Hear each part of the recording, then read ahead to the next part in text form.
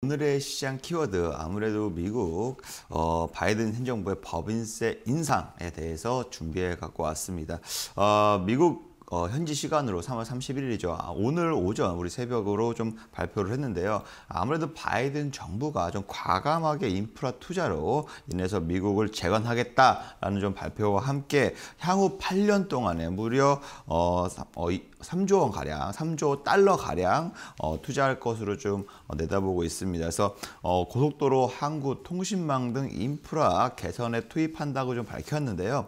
아무래도 교량, 곧 도로망, 그 다음에 항구 등 재건에 약 6,500억 달러, 그리고 뭐 어, 신규 주택 건설에 3천억 달러, 그리고 노령층 장애인 등 돌봄 시설에 4천억 달러 등을 어, 투입한 것으로 좀 어, 알려졌습니다. 그래서 이와 함께 핵심 경제 정책인 제조 부흥 여기에도 무려 3천억 달러가 지금 배정될 것으로 좀 예정 예상이 되어 있고요. 국가 전력망 강화, 초고속 데이터 통신망 구축, 뭐 깨끗한 식수 등 이러한 각각 상하수도 개량 시설 등에 대해서 천억 달러 규모의 어, 투입이 될 것으로 지금 전망이 되고 있습니다. 그래서 법인세율 인상은 아무래도 증시로서는 좀 악재로 작용할 수 있는 소재이다 보니까 오늘의 이슈 키워드로 준비해 갖고 왔습니다. 네, 이 인프라 투자 계획에 따라서 건설이나 철강 같은 인프라 투자 업종 또는 전기차 같은 친환경 에너지 업종 그리고 반도체 업종들까지 여러 가지 업종들 수혜가 예상되고 있는데 간밤 뉴욕 증시에서는 인프라 관련주들이 조정을 받고 다시 한번 기술주들이 상승하는 모습을 보였습니다. 자, 그런 가운데 증시에 영향을 받을 수 있는 기업들은 좀 타격이 불가피할 것 같다라는 분석 나오고 있으니까 참고해 보시고요. 자, 계속해서 오늘의 업종 키워드도 확인해 보도록 하겠습니다. 네, 업, 업종 키워드 같은 경우는 건설 기계 업종입니다. 아무래도 인프라 투자 확대에 따라서 가장 큰 수혜를 얻을 수 있는 게 바로 건설 장비 혹은 건설 기계 업종인데요.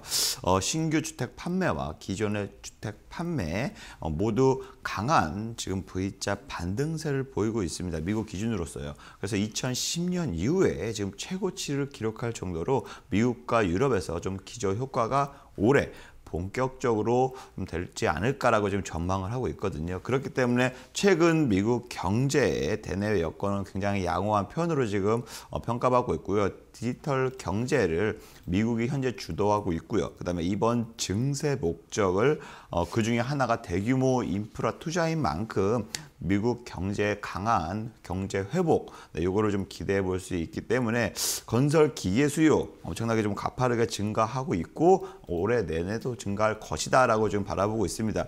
이에 중국도 마찬가지로 대규모 인프라 투자를 지금 집행한다고 어, 확대한다고 말 어, 발언했고요. 그다음에 2008년 이후에 최고치 건설 장비 판매 대수가 최고치에 어, 경신하면서 그런 기록을 어, 지금 세우고 있습니다. 그러면서 글로벌 진출에 있는 국내 기업들, 건설 기계 회사들 충분히 직접적인 수혜가 예상될 수 있기 때문에 업종 키워드로 준비해 갖고 왔습니다. 네, 국내 관련주들 중에서는 해외 사업 비중이 큰 두산 인프라코어나 두산 밥캣, 현대건설기계 같은 종목군들이 최근에 주목을 받았는데요. 이번 주 들어서는 단기 고점에서 조정받고 있는 흐름 나타나고 있으니까요. 주가 흐름들 주목해 보시면 좋을 것 같습니다. 자, 계속해서 오늘의 종목 키워드도 알아보도록 하겠습니다. 네, 종목 키워드 바로 오늘 상장하는 엔시스라는 종목을 준비해 갖고 왔습니다. 지난주에 22일, 23일 이틀에 걸쳐서 일반 투자자들 대상으로 해서 공모 청약을 실시했는데요. 어, 무려 2,574대 1의 어, 청약 경쟁률을 기록하면서 14조 원이 넘어가는 청약 증거금이 몰렸습니다. 그만큼 앞선 그 이전에 또 기관 투자자들이 대상으로 수요 예측 조사를 했었는데요. 1,550개 기관이 참여했는데 무려 1,468대 1의 경쟁률을 기록하면서 공모가 최상단을 금액을 초과하는 19,000원부터 좀 시작을 보였다 해서 오늘 좀 강한 상승보다는 어, 시작과 동시에 좀 하락세를 보이고 있는 상황인데요.